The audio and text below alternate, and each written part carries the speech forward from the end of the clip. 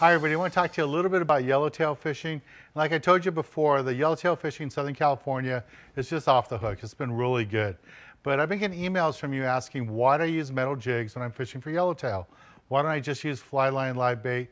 And you can do that and you can catch fish, but when the fishing gets really going and it's lots of action on the boat, you don't always want to have to run back to the back of the boat and grab a live bait. So I like to throw a jig, and then with a jig I can go hide on the bow of the boat and get my line in the water even before the boat stops and hook a fish. So here's a little video clip from a past trip aboard the Chief to show you how to use a metal jig to catch yellowtail.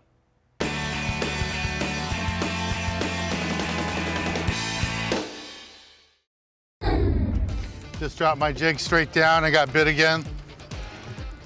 Let's see what I got here. Another yellow. Swimming under the boat.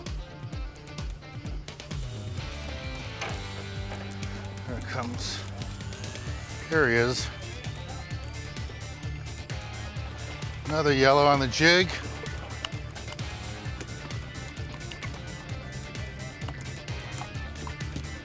There we go. Two quick drops. Two quick drops, two quick fish. We go.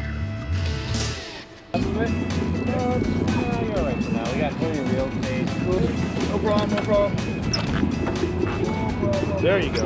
Oh, dang it. All right. Let me see that real quick. Well, here's another method for catching yellowtail. He kind of cheated and caught him in the nose, but basically the fish was diving at the jig.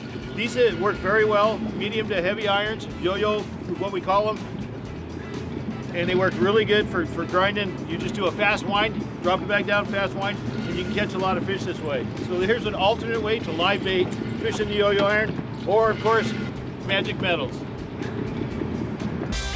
We just set up another cow patty. Here's my fish right here on a jig. There's so many fish right here. There's so much action. Not even gonna bother with gaffs. And this is a school size yellow, what we're getting out here on the cow patties. Some bigger, some smaller. This is kind of average size for today. All right, well, let's take a little break from the action and go to the galley and show you how to cook up one of these fish that we're catching today aboard the Chief. Well, I hope you enjoyed that video clip. Again, just use that metal jig, throw it out there, work it back really fast, and you'll be surprised how good they work. I know if you've never tried it before, it's a little intimidating, but don't let it intimidate you. It's a real simple technique. When you get on the party boats, don't be afraid to ask questions. Ask before you get on the bite, and the crew will help you. If I'm on the boat, I'd be glad to help you too. But once we get on the bite, it's a little too late. Everybody's off for their own trying to hook that fish and get it in.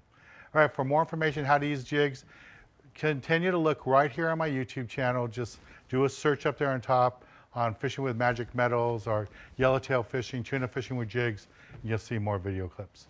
Just want to remind you, every Thursday right here on my YouTube channel, I'll be uploading brand new video clips to give you more information and uh, want to do it every Thursday. Every Thursday, probably about 9 o'clock Pacific time, I have a new video for you to look at.